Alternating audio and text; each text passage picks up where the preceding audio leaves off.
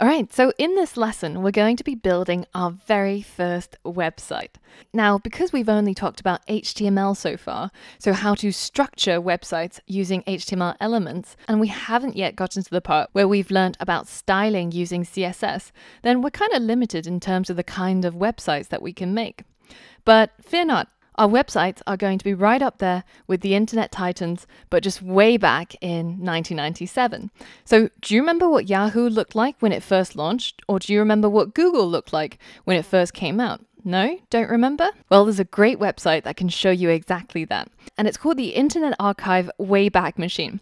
And you can find it at web.archive.org. Now, in here, if you just enter the URL of a website that you're interested in, say yahoo.com, then it shows you what this website looks like all the way from 1996 to current day, which is 2017. Now, let's have a look at what Yahoo looked like originally on the first day it was crawled, so 17th of October, 1996. So let's go ahead and click on that snapshot. And this is exactly what it looks like. So if we close off this frame, you can see it's almost like as if you've time traveled back to 1996 when Yahoo first launched and you were visiting this website for the first time. Now, as you can see, most of this is just pure HTML. It's a lot of structure and a lot of formatting, but it looks really ugly. But it's okay because it's a great place to get started with. So this is the sort of website that we're going to be building by the end of this module. Now I hear you say, oh, but this looks terrible. We're in 2017. Surely nobody builds websites like this anymore. Well, this is an interesting anecdote that you might not know.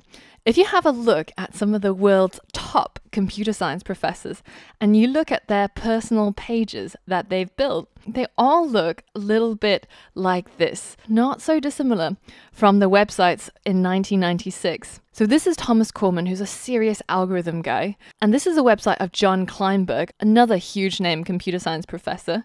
And of course, the king himself, Donald Knuth, has a website that looks like this. So if it's good enough for these computer science titans, then it's probably good enough also for our very first website. So by the end of this module, we're going to build a website that looks much like this. Something that we can put up online to show what we've done, our CV, as well as our hobbies and things that we like to do. So you can use it as a personal site or somewhere to list your CV online. So I hope you're excited because I'm super excited. And once you're ready, let's go ahead and create our very first website.